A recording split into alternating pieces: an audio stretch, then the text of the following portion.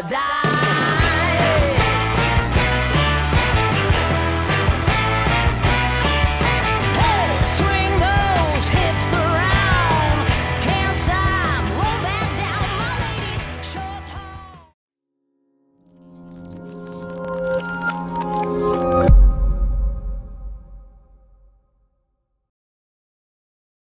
Hejsan allihopa! I dagens video så tänkte jag faktiskt att vi skulle prata lite om eh, alltså hur mycket får du dra med en elbil egentligen?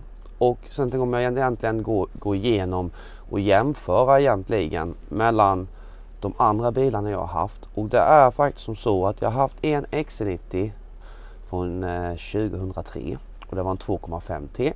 Jag har haft en V90 från 2019 som hade en dieselmotor, alltså en D3. Och sen hade jag en XC40 innan dess, innan, alltså innan denna. Och den hade då en B4 motor. Och sen då den här bilen som jag sitter i bakluckan i just nu. Och då funderar jag som så här.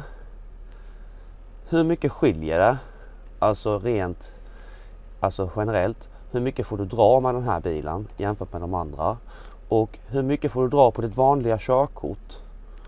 Och eh, lite så. Och sen så även kommer jag även gå in lite på det här med det är vissa som har skrivit i kommentarsfältet på förra filmen att eh, ja, de gjort uträkningar och så här på eh, hur mycket batteriet skulle hålla. Alltså, alltså att, ja, att färddatorn inte stämmer.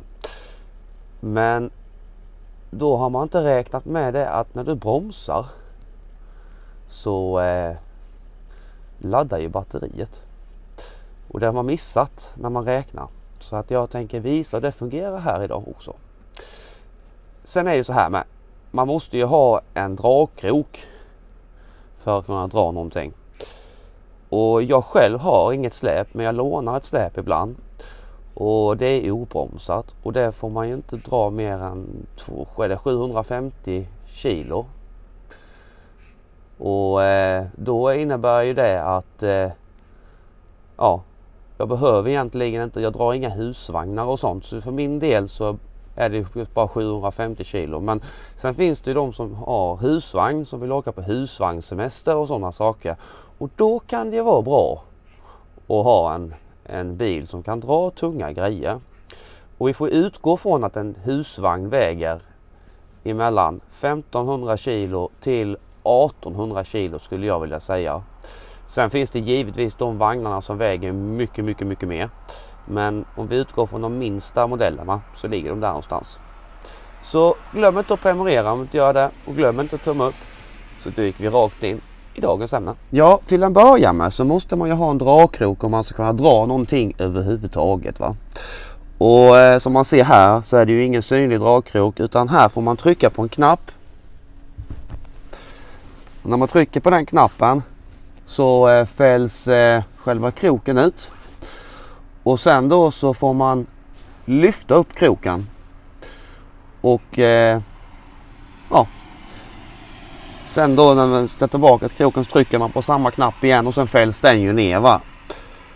Och eh, det är så det fungerar. Och det är smidigt faktiskt med elektrisk, alltså elektrisk dragkrok. Det, det är jättesmidigt. Slipper du ha den framme hela tiden och har man en avtagbar dragkrok så är det många som glömmer att plocka väck den. Och sen rostar den fast och sen kommer du till besiktningen så får du en tvåa på det för du inte får väck den. Och funkar inte låset så ja, får man en tvåa på det med. Det finns på kanalen om vi kollar på det. Jag fick en tvåa på min X90 när jag eh, hade avtag, avtagbar dragkrok på den. Så eh, jag tröttnade på den och kapade väck den. Så eh, det finns på kanalen och jag kan länka det i beskrivningen. Ja, om man då börjar titta på då. Vi börjar med den gamla XC40 jag hade. Och med obromsad släpvagn, alltså en obromsad släpvagn får du dra 750 kilo, precis som jag pratade om innan.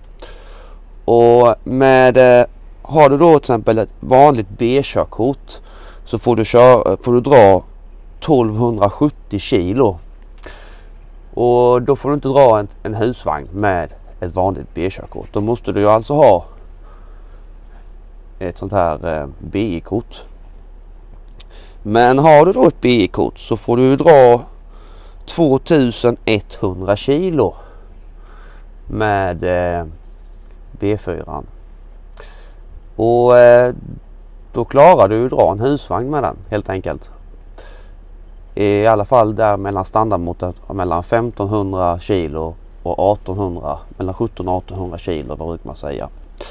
Sen finns det de upp mot 3 ton också men, men eh, det är ju riktigt stora vagnar. Va? Sen tittar man då på själva alltså totalvikten så ligger den på 2230 kilo på eh, den vanliga XC40 med bensinmotorn i. Och eh, tjänstevikten är 1711 kilo. Det är också Alltså det är själva tjänstevikten räknas ju. Det är bilens vikt plus förare då. Så går man då vidare och tittar mot då på XC40 Recharge där jag sitter i just nu. Så är ju tjänstevikten 2075 alltså. Och det är ju då med förare och bilens vikt va. Och totalvikten är på 2520 kilo. Det du får dra max med, eh, med den här bilen det är 1500 kilo så du klarar ju dig att köra, dra en liten husvagn. Det gör du. Och eh, då räknar man ju att eh, på vanligt körkort då får du dra 980 kilo. Så för min del så funkar detta för jag drar ju inte, alltså jag får inte liksom dra mer med, eh, med, med mitt körkort oavsett. Och jag får inte heller, alltså jag använder inte mer än ett obromsat släp, alltså obromsad släpvagn och där har vi samma. Och det är på obromsad släpvagn 750 kilo och det är det på nästan samt, det är på samtliga. Vilket innebär att för den delen så, så klarar jag mig helt enkelt och då känner jag som så här att ja, jag har ingen husvagn. Jag drar inga tunga släp. Nej, då funkar det för mig. Men det kanske inte funkar för dig som drar tunga släp och drar husvagn. För många i Sverige har ju husvagnssemester. Och eh, en liten husvagn har du en på 1500 kilo, ja då kan du ju dra den. För det är det som du får dra helt enkelt. Sen kan man säkert häkta på en ännu tyngre husvagn va. Men det är inget jag skulle rekommendera. För att det rekommenderar jag inte på någon bil egentligen för du fördärvar grejerna helt enkelt. Så, eh, så är det.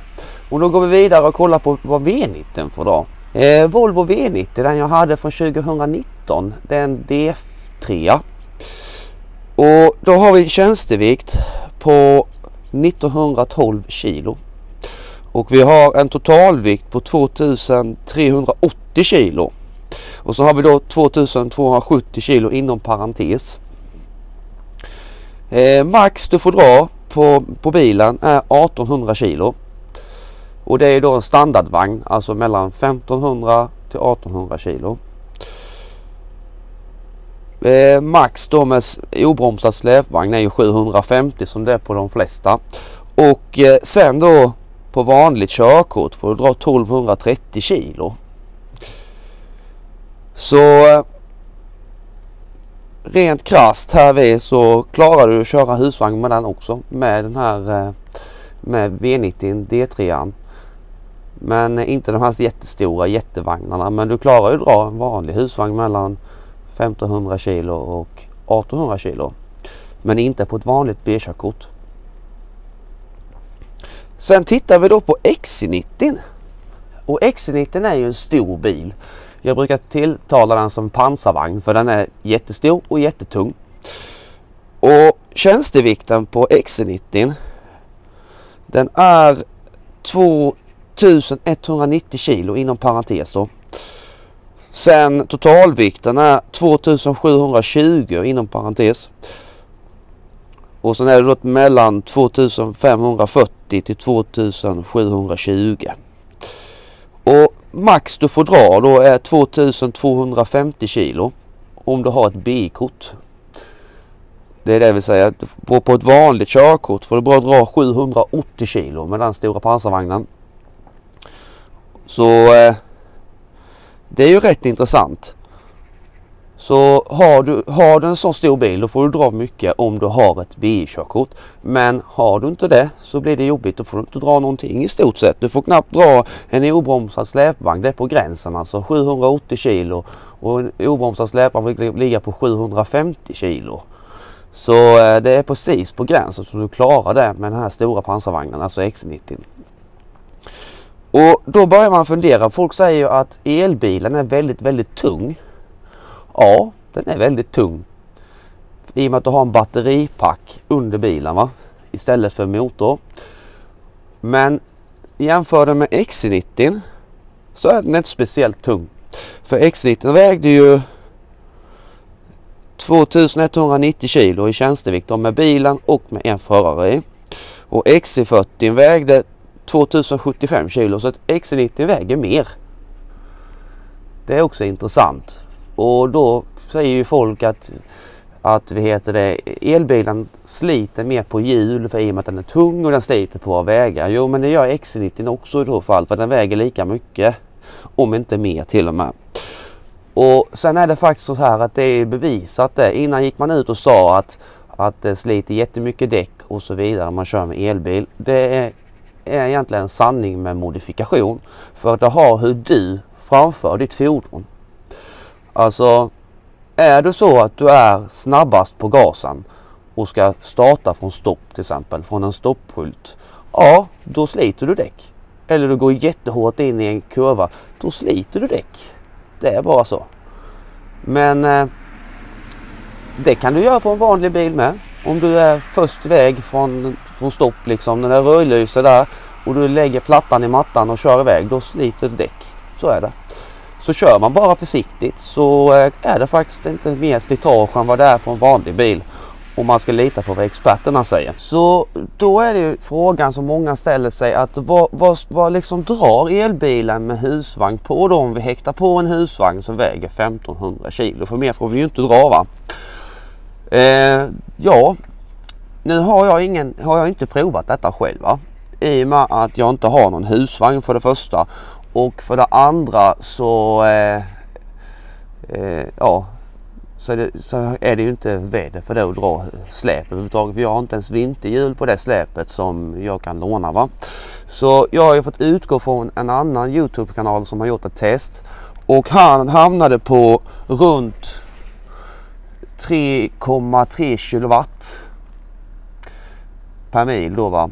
Och det är ju en rätt så bra ökning va. Men skulle man då häkta på en husvagn på en vanlig diesel eller en vanlig bensin så drar den också jättemycket mer, alltså mer bränsle. Va?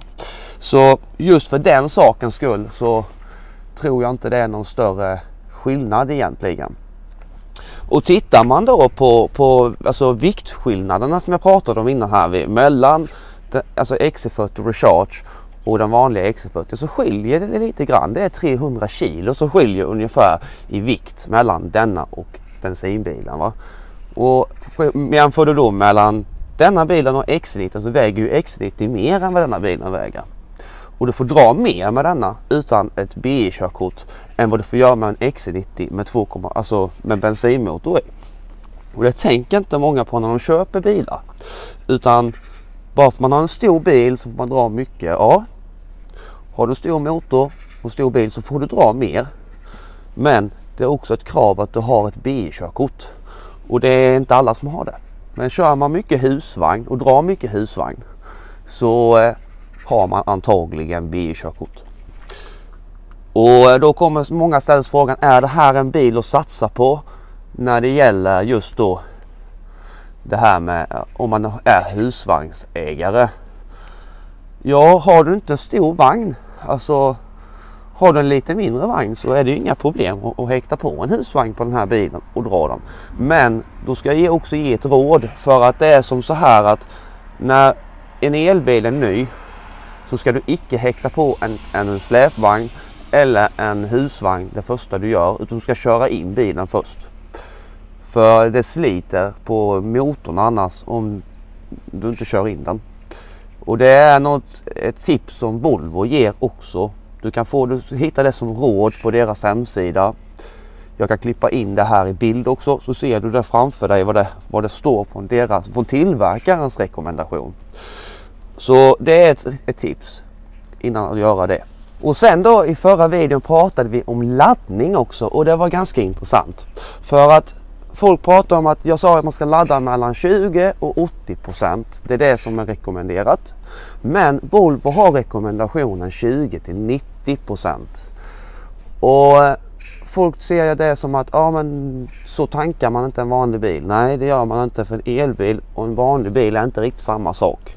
Elbilen ser ni här, jag har sladden i nu. Så när, när jag stoppar i sladden när jag kommer hem och sen låter jag den sitta i och sen är den inställd i panelen på 90% vilket innebär att den laddar upp till 90% sen slutar den att ladda. Så när jag kommer ut på morgonen så är bilen fulladdad. Så för min del spelar det inte så jättestor roll att eh, liksom det gäller bara att planera helt enkelt. Så har man sladden i, ja, när man kommer hem stoppar man i sin sladd. Sen när du kör till jobbet på morgonen så tar du ut sladden och bilen är fulladdad. Så det är ett tips va, att ställa in det i panelen. Att den ska vara förinställd på 90% Och sen så låter du bilen och laddaren sköta det. Så behöver man inte fundera på det. Det är bara att köra som vanligt, kör hem, stoppa i sladden och så låter du bilen sköta jobbet. Sen är det så att det är många som funderar också över det här varför jag jämförde mellan en, alltså en elbil och en, och en bensinbil och inte jämförde mellan diesel och el. Eh, ja, det har att göra med att Volvo säljer inga dieselbilar längre. Och när jag vill jämföra nyprisköp så vill jag jämföra Alltså vad kostar det att köpa en ny bil? Va? Jag kan inte jämföra en ny bil mot en begagnad. För i så fall så måste båda bilarna vara begagnade. Och fanns annars blir det fel. Så därför jämförde jag mellan B4 och denna istället. Däremot så kan man göra ett test och köpa två, alltså om man ska köpa två begagnade bilar och jämföra mellan en elbil i den här klassen mellan en likadan fast en diesel. Det kan man göra på begagnatmarknaden. Det är inga problem att göra det. Men när det kommer till nyköp så var jag tvungen att göra så för att det finns liksom inte något val. Jag kan inte, köpa, kan inte köpa en ny tillverkad dieselbil för att Volvo säljer inte dieselmotorer längre. Så det var därför det var så. Det var allt jag hade kommit med idag. Glöm inte att prenumerera på kanalen och har ni fler sådana här frågor angående just elbilen kommentera gärna nedanför så ska jag försöka göra videoprogram om detta. För att det är jättemånga människor som har jättemycket frågor och i och med att elbilen är så mycket upp tapeten just nu och folk pratar om det så känner jag som så här att nu har jag ju möjligheten att testa och visa i verkligheten. Och då är det ju faktiskt kan jag känna att det blir mer alltså, trovärdigt när man ser det framför sig. För sitta och kolla på massa siffror, det är inte speciellt jätteroligt. Då är det roligare att kunna testa det själv och bilda sin egen uppfattning. Och det är därför det är lite så här att förut var jag väldigt negativ till elbilen. Jag hade aldrig provat en elbil heller utan jag utgick från de siffror och den information som fanns. Och när jag sen gick över till elbil så blev jag väldigt överraskad kan jag säga. Alltså jag har hittat mer fördelar med elbilen än nackdelar om man säger så. Så ja, det var allt jag kom med idag. Glöm inte att prenumerera och glöm inte upp så ses vi igen i nästa video. Hej!